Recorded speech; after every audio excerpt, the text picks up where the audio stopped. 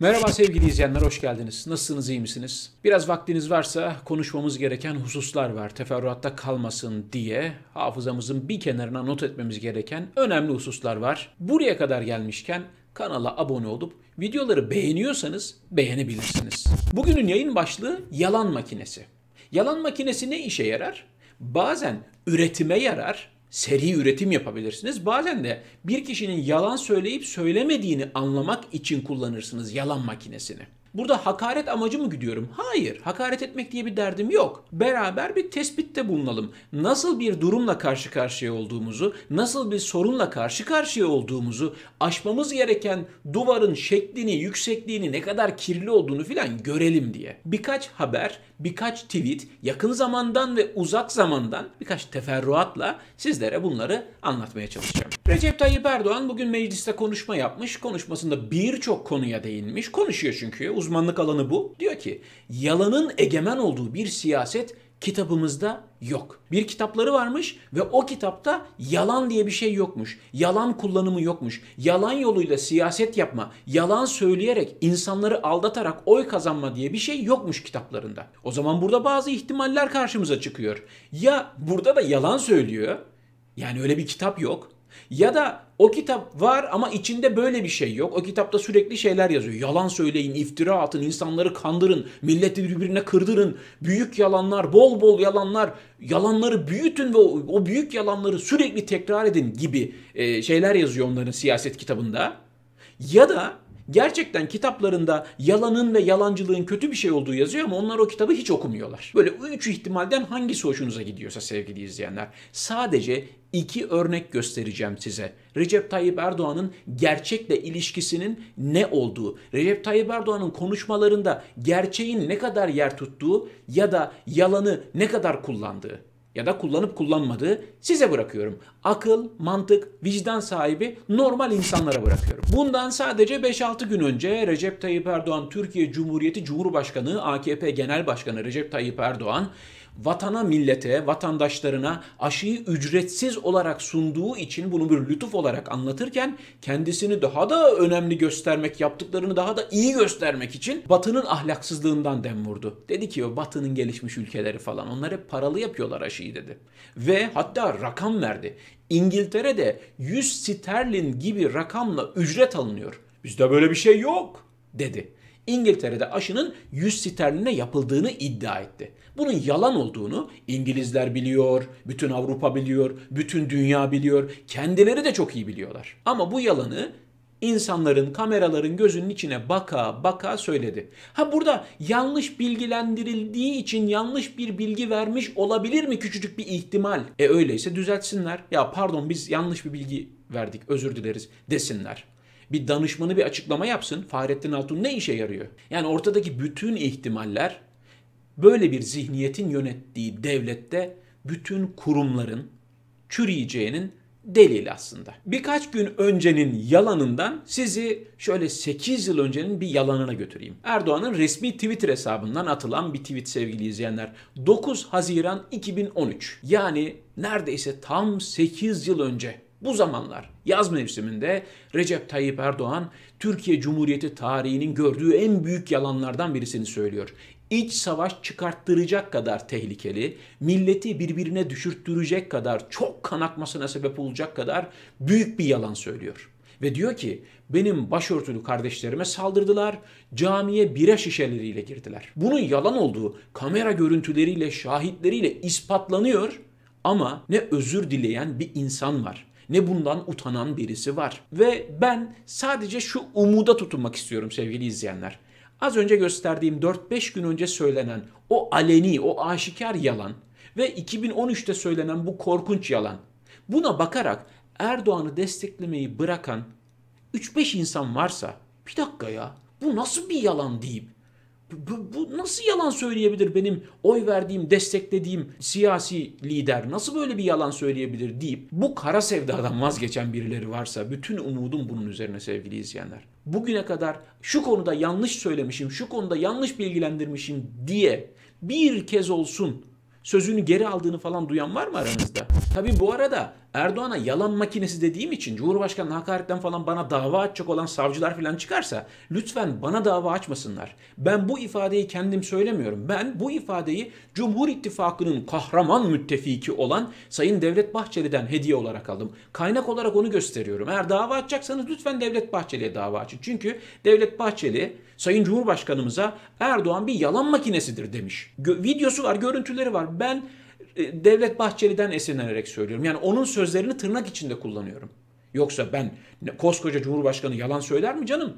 Ben o ihtimali çoktan eledim zaten. Öyle bir ifadeyi kullanmam bile. Ben onun sözünü kullanıyorum sevgili izleyenler. Siz de kullanırsanız bunu kullanın lütfen. Kendiniz üretmeyin böyle bir şeyi. Üretilmişi var bakın.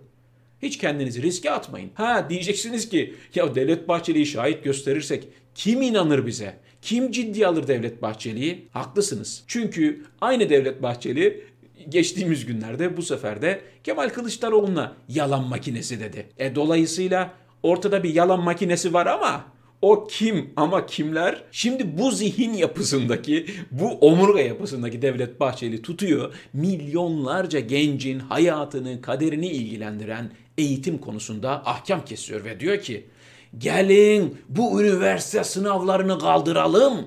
Gençlerimizi daha fazla yormayalım. Bununla da kalmayıp üniversiteleri de kapatalım. Okuyorlar da ne oluyor? Biz okuyoruz da ne oluyor? En başta dedim ya sadece karşı karşıya olduğumuz önümüzde duran duvarın şeklini, büyüklüğünü ve ne kadar kirli olduğunu görelim diye bundan bahsediyorum.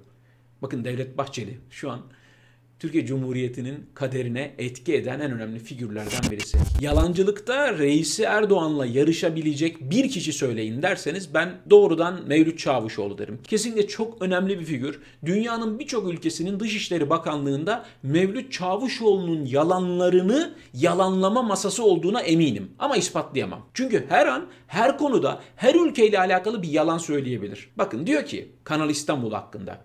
Kanal İstanbul'u inşa ederek Boğaz'daki trafiği hafifleteceğiz diyor. Ne kadar güzel bir dilek, ne kadar e, güzel bir düşünce değil mi? Hiç yalanlamak için kendinizi yormayın. Ben aradım buldum sizin için bu söylediğinin yalan olduğunu hemen göstereceğim. 2013 yılından 2020 yılına kadar Boğaz'dan geçen petrol ve gaz tankeri sayısını sizlerle paylaşıyorum sevgili izleyenler. Bu bilgiler kıyı emniyetinin verilerine göre, resmi verilere göre 2013 yılında İstanbul Boğazı'ndan 1741 petrol ve gaz tankeri geçerken bu sayı 2020'de 530'a düşmüş. Yani yarısından da aşağı düşmüş. Dolayısıyla yok Boğaz'daki trafiği hafifleteceğiz bilmem ne falan filan bırakın. Bir ikincisi Boğaz'ın en dar yeri bile yapacakları Kanal İstanbul'un en geniş yerinden iki buçuk kat daha geniş. Yani Kanal İstanbul'un öyle boğazın trafiğini hafifletmekle bilmem neyle alakası yok. Hepimiz biliyoruz ki tek dertleri orada gider ayak yiyebildikleri kadar yemek, götürebildikleri kadar götürmek, sömürebildikleri kadar sömürmek. Bakın şu acizliğe, şu zavallılığa bakar mısınız? Mevlüt Çavuşoğlu devam ediyor. Rus mevkidaşıyla görüşmesinden sonra böyle bir açıklama yapmış. İki doz aşı olan Rus turistlerden PCR testi istemiyoruz. Rus turist hangi aşıyı yaptırmışsa onu kabul ediyoruz. Yunanistan böyle yapmıyor bakın. İspanya böyle yapmıyor. Almanya kendi vatandaşına bir sürü kural koyuyor. Dünyanın turistik bütün memleketleri tamam turist gelsin. Tamam para kazanalım başımız gözümüz üstüne. Tamam turist veli nimetimizdir. Lakin halkımızın sağlığını da düşünmek zorundayız. O yüzden PCR testi isteriz diyor. Hangi aşıyı olduğuna bakıyor. Türkiye neden Avrupa ülkeleri tarafından güvenli ülke olarak kabul edilmiyor? İşte bununla beraber yalan söyleme konusunda son bir buçuk iki yılda yaptığı kontra ataklarla ön plana çıkan Fahrettin Koca'yı da anmadan geçmemek lazım. Türkiye neden güvenli ülke statüsünde değil? Koronavirüs vakaları konusunda bütün dünyaya, bütün vatandaşlarına seri halde turkuvaz yalanlar söyledikleri için olabilir mi? Vaka sayıları, ölüm sayıları. Yani böyle heyecanlı heyecanlı konuşurken bir anda insan duruyor. Canını yaktıkları, canını kaybetmesine sebep oldukları o kadar çok insan var ki, o kadar çok sağlık emekçisi var ki, o kadar çok vatandaş var ki hiçbiri geri gelmeyecek. Bunların yalanları yüzünden. Bakın Türkiye'de adalet ne durumda? Adalet kimi koruyor? Mısra Öz artık onu tanımayanımız yok. Evladını kaybetmiş bir anne. Ve bunun hesabını sormaya çalışıyor. Evet evladı geri gelmeyecek, oğlu geri gelmeyecek. O da bunun farkında. Ama başka anneler bunu yaşamasınlar diye. Çorlu'daki tren faciasının, tren katliamının, tren cinayetinin sorumlularından hesap sormaya çalışıyor. Ama ne yazık ki karşısında duvarlar var. Onun sesini duymamakla, onun çabasının üstüne toprak dökmekle yetinmiyorlar. Bir de onu yargılıyorlar sevgili izleyenler. Mısra Öz mahkeme heyetine hakaret gerekçesiyle ifadeye çağrılmış. Ve kurduğu şu cümleyi hiçbir anne, hiçbir baba kurmak zorunda kalmamalı. Evladım öldü benim. Evet Türkiye'den adalet manzaralarına devam ediyoruz. Evli olduğu kadını ve 2 yaşındaki çocuğu kaynar suyla yaralayan Ali Ay, şimdi seni öldürsem 5 yıl alırım, 3 yıl yatar çıkarım demişti. O bile olmadı. Cezası iyi hal indirimiyle 3 yıl 9 aya indirildi. Tehdit suçundansa beraat etti. İyi hal indirimi sevgili izleyenler. Adam canavar. Adam gözünü kırpmadan bir kadını, bir çocuğu öldürebilecek kadar canavar. Ama mahkemeye gittiğinde bir takım elbise giyip bir kravat takınca iyi hal indirimi alıyor. Sonra bu katilleri sokağa salıyorlar, gidiyorlar. Bu katiller de işlerini yarım bırakmıyorlar. Ve bir istatistik sevgili izleyenler. Avrupa İnsan Hakları Mahkemesi'nde bekleyen başvuruların ülkelere göre dağılımı. Rusya %21, Türkiye %20. Yani Avrupa İnsan Hakları Mahkemesi'nde bekleyen her 5 dosyadan birisi Türkiye'den gitmiş dosya. Neden bu ülkenin vatandaşları kendi memleketlerinde değil de Avrupa İnsan Hakları Mahkemesi'nde adalet arıyorlar? Peki aradıkları adaleti Avrupa İnsan Hakları Mahkemesi'nde bulabiliyorlar mı? Ne yazık ki. Aylarca, yıllarca bekliyorlar. Neticesi yine hüsran oluyor. Türkiye'den Suudilere ilginç bir teklif gitmiş. Siz Sedat Peker'i durdurun, biz de Cemal Kaşıkçı dosyasını büyütmeyelim. Teklifin, önerinin ahlaksızlığını, karaktersizliğini, canavarlığını görüyor musunuz? Türkiye Cumhuriyeti sınırları içinde bir ülkenin başkonsolosluğunda bir gazeteci vahşice, korkunç bir şekilde katledildi, yok edildi, yok edildi. Ve bu cinayeti işlemek için Türkiye'yi seçtiler. Neden Türkiye'yi seçtiklerini de şu tekliften görebiliyorsunuz işte. Neden suç mahalli olarak Türkiye'yi seçiyorlar? Neden suçlular Türkiye'ye gelip yargılanmak istiyorlar? Bakın Cihan Ekşioğlu diye bir karakter var. Hayatımıza böyle bir isim girdi. Değil mi? Normalde tanımayız etmeyiz. Ama Türkiye'nin en kritik yerlerinde, Türkiye Cumhuriyeti'nin bütün vatandaşlarının hayatını, kaderini etkileyen yerlerde bu herifin adı geçiyor. Milli İstihbarat Teşkilatı'na 4 yıl önce kendisi anlatıyor bunu. WhatsApp ve Twitter'ı takip etmelerini sağlayan bir makine satmışlar. Ve bu makineyi 3 milyon dolara almış, Milli İstihbarat Teşkilatı'na 50 milyon dolara satmış. Ha bu arada Milli İstihbarat Teşkilatı burada dolandırılmamış sevgili izleyenler öyle bir şey yok. O 50 milyon dolar Milli İstihbarat Teşkilatı'nın bütçesinden çıkıyor. Tamamı Cihan Ekşioğlu'nun cebine gitmiyor tabii ki. O imzayı Hakan Fidan atıyor. Dolayısıyla o fazladan çıkan 47 milyon dolar artık neyse o hesap o da alacağını alıyor tabii ki. Ortada bir kandırılmış bir yönetici falan yok. Kendisi iyi de çevresi kötü. Cihan Ekşioğlu sahtekar, Hakan Fidan yok öyle. Koskoca istihbarat teşkilatının başındaki adam böyle bir kazığı yemez. Ortak bir soygun var. Memleketi soyuyorlar. Ve sadece çalınan şey para değil. Çalınan şey ülkenin güvenliği. Çalınan şey insanların güvenliği, can güvenliği, adalet, hukuk, yargı bağımsızlığı, demokrasi bunları çalıyorlar. Evet Türkiye'yi Avrupa'da temsil eden Egemen Bağış. Çok özel bir karakter. Çok özel bir karakter. Yani AKP rejimi nedir, saray rejimi nedir dediğinizde direkt Egemen Bağış'ı prototip olarak koyabilirsiniz. Bu fotoğrafta 2011 yılında çekilen bu fotoğrafta devletin uçağındalar. Karşısında Egemen Bağış'ın Ali Bayramoğlu var tırnak içinde söylüyorum kendisi bir gazeteciymiş. Ve şampanya içiyorlar. Sarhoş olmuşlar. Kafalar güzel. Fotoğraflardan da çok belli. İşte o şampanyanın fiyatı 30 bin liraymış sevgili izleyenler. Egemen Bağış ikram etmiş. Egemen Bağış'ın hediyesiymiş. Aynı tarihlerde Egemen Bağış Reza Zarrab'dan 500 bin dolar rüşvet alıyordu. Vakko takım elbise kılıfının içinde, elbise kılıfının içinde 500 bin dolar rüşvet alıyordu. Ve bu rüşvet polisin kamerasına yakalanmıştı ses kaydı vardı. Üstelik itiraf da var. Buna rağmen bu hırsız, bu rüşvetçi, bu ahlaksız, bu din tüccarı her cuma ayet sallayan bu herif Türkiye Cumhuriyeti'ni şu an temsil ediyor. Büyükelçilik yapıyor. İçtiği içkiden bana ne? Kendi parasıyla alıyorsa, içiyorsa hiç karışmam. Ama dindar pozları kesip bu riyakarlıkla cumaları ayet sallayıp bakara makara yapıp o zaman ilgilendiriyor. Yoksa insanların kişisel hayatından bana ne bireysel hayatından. Ama bu sahtekarlık, bu yalancılık, bu ikiyüzlülük ve bunun üzerine Bu bütün hırsızlığın, yolsuzluğun, rüşvetin üzerine Türkiye Cumhuriyeti'ni temsil ediyorsa bu adam bu fotoğraf hepimizi çok ilgilendiriyor. Bakın Egemen Bağış'ın normal vatandaş versiyonu. İkisini yer değiştir, ülkede hiçbir şey değişmez. Aynen ilerler. Sokakta şort giyen kadına saldıran şu sığır fotoğrafı ortaya çıkmış. Kendisi de şortlu ve bir kumarhanede fotoğrafı var. Bak ahlak dersi vermeye çalışıyor. Egemen Bağış da öyle din, ahlak falan ama kendisinde yok. Bu sığırla Egemen Bağış'ı yer değiştirin, ülkede hiçbir şey değişmez birbirinin kopyası. Ticaret Bakanı Muş'a soruldu. Mersin'de yakalanan 1.3 ton kokainin alıcısı kim? Bakın sevgili izleyenler Türkiye Cumhuriyeti'nin sınırları, Türkiye Cumhuriyeti Devleti dünyanın en büyük kokain istasyonu olmuş durumda. Ve bu uluslararası raporlarla belgeleniyor. Uluslararası haberler yapılıyor. Türkiye'nin imajı falan filan. Ben buradan iki tane video yapınca neden ülkeni kötülüyorsun Almanya'da diyorlar. Ben mi zarar veriyorum? Yoksa bu uyuşturucu ticareti yapan bu ahlaksızlar, bu zehir tacirleri mi? Evet merak ediyoruz. Kime geliyor bu kadar kokain? İlla ki bir alıcısı var. Hepinizin dilinin ucunda olduğunu biliyorum o alıcının da. Bir gün inşallah mahkemelerde bunlar konuşulur. Cumhurbaşkanı İletişim Başkanı Fahrettin Altun, yalan haber ulusal güvenlik sorunu olarak görülmeli. Size bir şey diyeyim mi? Yarın sabah uyandığımızda böyle mitolojik bir şey olsa, efsanevi bir olay olsa ve insanlar yalan söyleyemeyecek hale gelseler. İnsanlar yalan söyleme özelliğini yitirseler. Fahrettin Altun gibiler dilsiz kalırlar, konuşamazlar. Kitlenir kalırlar. Hayatlarında yalan dışında bir şey yok. Fahrettin Altun'un resmi görevi saray adına yalan söylemek. İktidar adına yalan söylemek. Algı operasyonu yapmak. Görevi bu. O dört maaşı onun için alıyor. Ama diyor yalanla mücadele edeceğiz. Siz yalanla mücadele edersiniz. Yalanla birlikte mücadele edersiniz. Siz yalanla bir takımsınız. Bilal Erdoğan'ın yönetiminde olduğu vakıf vergiden muaf tutuldu.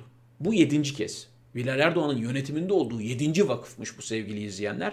Vakfın adı da İnsan ve İrfan Vakfı. İnsandan ve irfandan öyle bir anlıyorlar ki uzman oldukları konu gerçekten insan ve irfan. Yedinci vakıf vergiden muaf tutuluyor. Biliyorsunuz kendileri vergiden muaf, hatadan münezzeh, yargıdan bağımsız. Hiçbir şekilde sorgulanamıyor. O paralar nereye gidiyor, nasıl kullanılıyor? Tabii ki bu vakıfları yolsuzluk için kullanıyorlar. Tamam biz sana bu ihaleyi vereceğiz de sen git şu vakfa bir bağış yap bakalım. Bir görelim bakalım bu ihaleyi alabilecek gücün var mıymış? Teminat olarak oraya bir bağış yap. E, orası zaten vergiden muaf. O para oraya yattığı an geçmiş olsun. Vakıf kültürü var ya hani Osmanlı'da anlatılır. Göç edemeyen leylekler vakfı. Gurabahane-i laklakan. Hani vakıf kültürü o kadar güçlüymüş ki derler. Göç edemeyen leylekler için bile vakıflar kurulmuş. Vakıf kültürünü de öldürüyorlar. Bir gün bunlar defolup gidecekler. İnsanlar gerçekten vakıfmış, dernekmiş, hayır kurumuymuş, yardım derneğiymiş böyle yerlere e, yaklaşmaya korkacaklar. Yani çaldıkları tek şey para değil. İnsanların iyi niyetini çalıyorlar. Ve Erdoğan'ın bugünkü konuşmasında herkesin çok dikkatini çeken bir bölüm vardı. Diyor ki bunlara göre bu ülkedeki Cumhurbaşkanından başlayarak bakanlarından, milletvekillerinden, iş adamlarına kadar herkes tahammüden vatana ihanet etmektedir. Herkes yolsuzluk yapmaktadır. Herkes hırsızdır. Herkes uyuşturucu kaçakçısıdır. Herkes banka soyguncusudur. O kadar da değil. Sayın Cumhurbaşkanı o kadar da değil. Tam eleştiriyoruz falan ama o kadar da değil ya. Böyle bir genelleme kimse yapamaz. Hiç kimse böyle bir genelleme yapamaz. Ne demek herkes hırsızdır, herkes soyguncudur, herkes uyuşturucu kaçakçısıdır. Böyle bir genelleme olmaz. Ben eminim oralarda bir yerde AK Parti'nin içinde, sarayın içinde öyle ya da böyle bir şekilde bu suçlara bulaşmamış, bu harama batmamış, pisliğe gömülmemiş en azından birkaç insan vardır. En azından var. O öyle genelleme lütfen yani. Ama bir gün adalet gelir de bu suçları işleyenler ta Cumhurbaşkanından tutup en aşağısındakine kadar bu suçları işleyenler adil bir şekilde yargılandıklarında kendilerinin yaptıkları adaletsizliklere maruz kalmaz. Onların çocukları, onların yakınları sırf onlarla aynı soy ismi taşıyor diye, sırf onlarla aynı aileden diye masum insanlara da zulmedilmez inşallah. Çünkü kendileri yaptılar. Suçlu ve masum ayırt edilir ve suçlulara gereken cezalar verilir. Ben genelleme yapmıyorum. Ben asla herkes demem diyemem yani. Erdoğan kendi alışkanlığından dolayı bu genellemeyi kendisi hakkında da yapıyor tabii. Sevgili izleyenler bugünlük bu kadar. Yarın Türkiye saatiyle 22'de yine burada olmaya çalışacağım. Kendinize iyi bakın. Sağlığınıza dikkat edin. Hoşçakalın.